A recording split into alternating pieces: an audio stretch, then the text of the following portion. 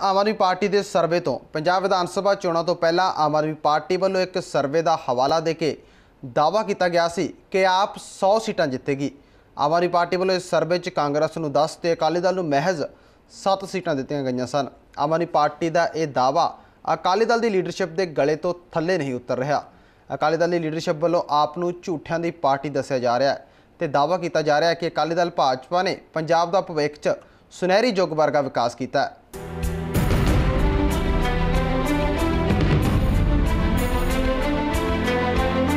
ਪੰਜਾਬ ਵਿਧਾਨ ਸਭਾ ਚੋਣਾਂ ਦੇ ਮੱਦੇਨਜ਼ਰ ਰਾਜਨੀਤਿਕ ਪਾਰਟੀਆਂ ਵੱਲੋਂ ਸਰਕਾਰ ਬਣਾਉਣ ਦੇ ਦਾਅਵੇ ਕੀਤੇ ਜਾ ਰਹੇ ਨੇ।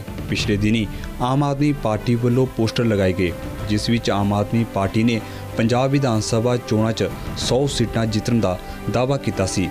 ਆਮ ਆਦਮੀ ਪਾਰਟੀ ਦੇ ਆਗੂਆਂ ਵੱਲੋਂ ਦਾਅਵਾ ਕੀਤਾ ਜਾ ਰਿਹਾ ਸੀ ਕਿ ਇਹ ਸਭ ਕੁਝ ਇੱਕ ਸਰਵੇ ਰਾਹੀਂ ਸਾਹਮਣੇ ਆਇਆ ਹੈ। ਆਮ ਆਦਮੀ ਪਾਰਟੀ ਵੱਲੋਂ ਪੋਸਟਰਾਂ ਵਿੱਚ ਅਕਾਲੀ ਦਲ ਨੂੰ 7 ਸੀਟਾਂ ਦਿੱਤੀਆਂ ਗਈਆਂ ਸਨ। ਆਮ ਆਦਮੀ ਪਾਰਟੀ ਦੇ ਇਸ ਦਾਅਵੇ ਤੋਂ ਬਾਅਦ ਅਕਾਲੀ ਦਲ ਵੱਲੋਂ ਆਪ ਦੇ ਭਵਿੱਖ ਬਾਰੇ ਕੁਝ ਇਸ ਤਰ੍ਹਾਂ ਦੀ ਟਿੱਪਣੀ ਕੀਤੀ ਜਾ ਰਹੀ ਹੈ। ਇਹਨਾਂ ਲੋਕਾਂ ਦਾ ਜੇ ਪੰਜਾਬ ਵਿੱਚ ਆਧਾਰ ਹੀ ਕੋਈ ਨਹੀਂ। ਜਿਹੜੇ ਆ ਕੇ ਪੰਜਾਬ ਦੇ ਲੋਕਾਂ ਨੂੰ ਦੱਸ ਹੀ ਨਹੀਂ ਸਕਦੇ ਕਿ ਆਪ ਪਾਰਟੀ ਨੇ ਪੰਜਾਬ ਵਾਸਤੇ ਅੱਜ ਤੱਕ ਕੀ ਕੀਤਾ।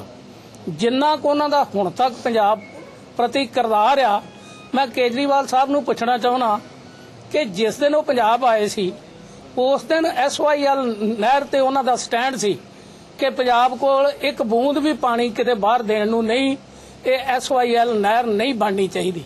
ਤੇ ਜਦੋਂ ਹਰਿਆਣੇ ਦਾ ਆਰਡਰ ਟੱਪ ਕੇ ਦਿੱਲੀ 'ਚ ਗਏ ਤੇ ਦਿੱਲੀ ਦੇ ਲੋਕਾਂ ਨੇ ਆਖਿਆ ਵੀ ਮੁੱਖ ਮੰਤਰੀ ਤੈਨੂੰ ਅਸੀਂ ਬਣਾਇਆ ਤੇ ਗੱਲਾਂ ਤੂੰ ਪੰਜਾਬ ਦੀਆਂ ਕਰਨਾ, ਤਾਂ ਉੱਥੇ ਜਾ ਕੇ ਕਿਹਾ ਵੀ ਪਾਣੀ ਦਿੱਲੀ ਨੂੰ ਵੀ ਮਿਲਣਾ ਚਾਹੀਦਾ।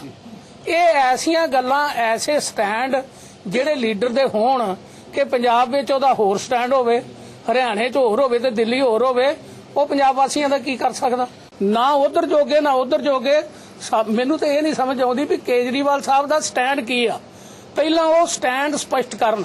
ਕਿਤੇ ਕੁਝ ਕਹਿੰਦੇ ਆ, ਕਿਤੇ ਕੁਝ ਕਹਿੰਦੇ ਆ। ਉਹ ਲੋਕ ਬੜੇ ਬੜੇ ਜਾਗਰੂਕ ਨੇ। ਆਮ ਆਦਮੀ ਪਾਰਟੀ ਵੱਲੋਂ ਸਰਵੇ ਦਾ ਹਵਾਲਾ ਦੇ ਕੇ ਕੀਤੇ ਗਏ ਦਾਅਵਿਆਂ ਨੂੰ ਅਕਾਲੀ ਦਲ ਵੱਲੋਂ ਮੁੱਢ ਤੋਂ ਖਾਰਜ ਕਰ ਦਿੱਤਾ ਗਿਆ ਹੈ। ਪਰ ਪੰਜਾਬ ਦੀ ਕਿਹੜੀ ਰਾਜਨੀਤਿਕ ਪਾਰਟੀ ਕਿੰਨੀ ਕੁ ਜਨ ਆਧਾਰ ਰੱਖਦੀ ਹੈ, ਇਹ ਤਾਂ ਵਿਧਾਨ ਸਭਾ ਚੋਣਾਂ ਦੇ ਨਤੀਜੇ ਹੀ ਦੱਸ ਸਕਦੇ ਨੇ। Bureau report, global Punjab TV.